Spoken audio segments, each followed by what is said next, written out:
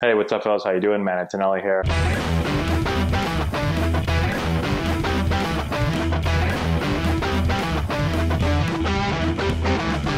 Hey, what's going on, guys? How we doing? Matt Antonelli here. Today, we're talking about from an infield perspective. Do we want to bring the ball to the middle and funnel the ball on a ground ball, or do we want to work through it and push through it with our glove? I get this question an awful lot. A lot of people debate it. I've made a couple of other videos on this topic, but I want to talk again because I continue to get questions on it. I want to give you a, a bunch of reasons why it is that we teach what we do. And for me, we teach both ways, right? It depends a little bit on the hop. We're going to get into that. But the majority of the time, we're teaching to funnel the ball to the middle of our body, okay?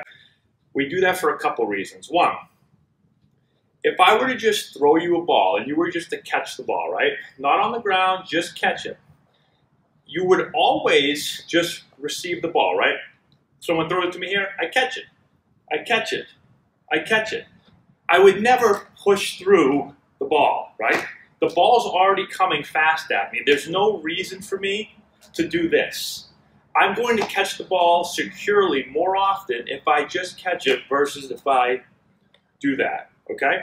If someone were to throw me a ball and I were to turn my glove over, so we're not talking a ground ball, just somebody were to do this to me, right? Just underhand the ball really fast at me, right about here.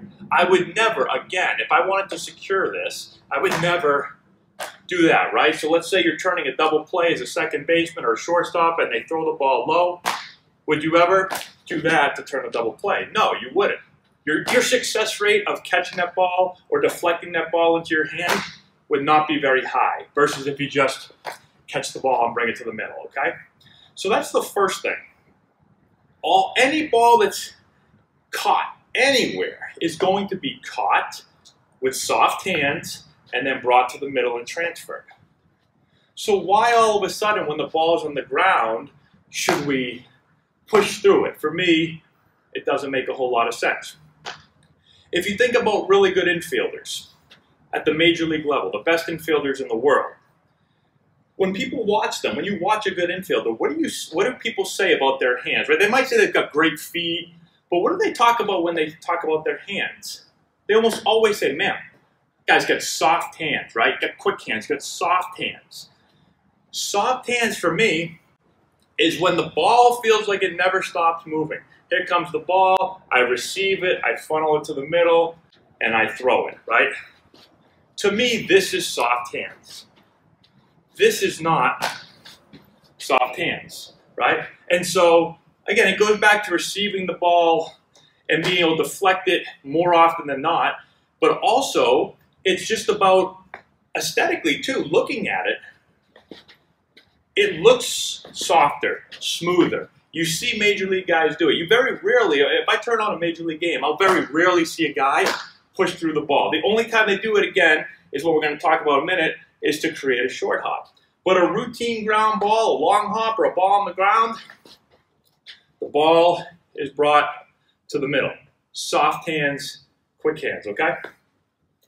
Let's talk about now when do you want to push through the ball or pinch through the ball. I call it pinching through the ball for me, the only time you'll see it, the only time you want to do it, is when you're trying to create a short hop. All right? So there's different hops that you can get. You can get the long hop, where the ball bounces way out there. You see the big hop, here it comes, and you field it. Okay? You can get a ball just on the ground, right? No hops.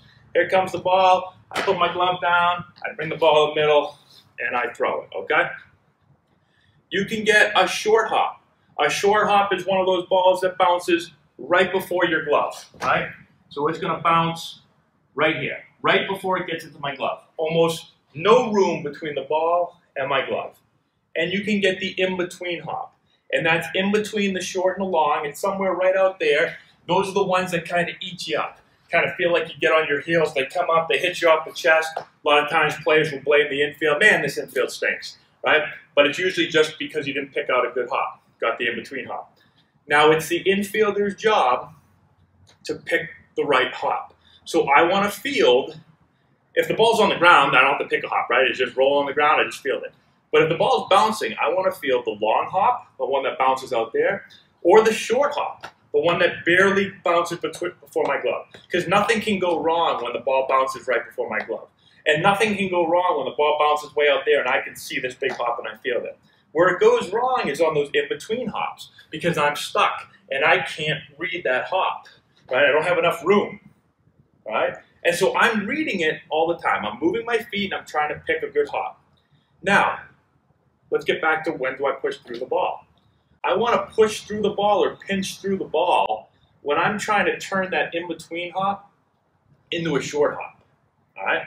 So, ball's going to bounce in between. If I just sit back and field it like normal, I'm going to get an in-between hop. It's going to be difficult to field.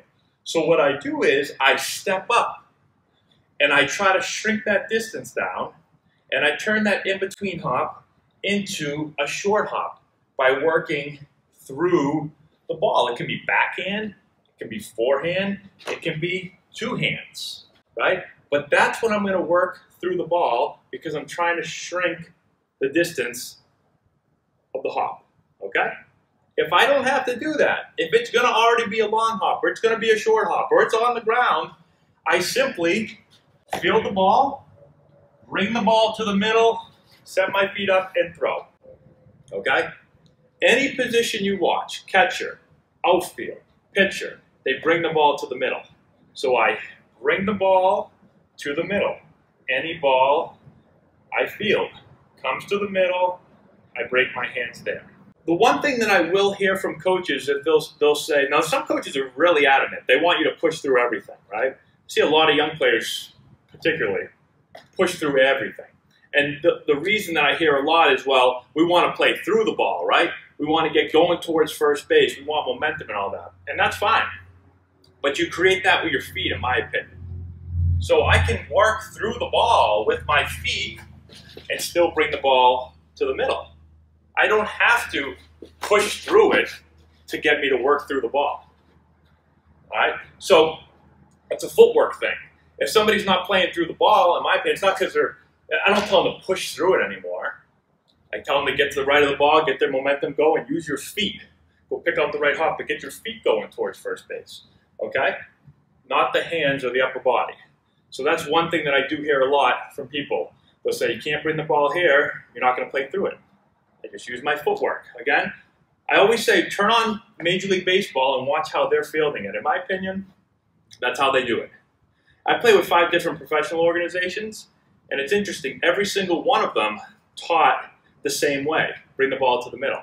Now, I'm not saying just because of that, that's the right way to do it, but I'm just saying it's interesting that all five taught that way. You turn on TV, you watch the best infielders in the world, and pretty much all of them do that, right?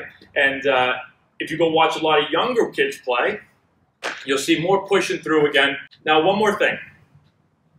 When I'm bringing them all to the middle of my body, how do I bring it to the middle of my body? This is important. So, when I feel the ball, I'm not going to just bring the ball in here with my elbows tucked in. I see some players try to do that. I feel the ball, and when I feel it, I should be, I'm not going to be 12 and 6, I'm going to be slightly off center, ever so slightly off center. When I get the ball, as I start to bring it to the middle, I turn thumb up. Right? So both my thumbs get up, my elbows go out. So now I can easily bring the ball to the middle of my body, break my hands and throw.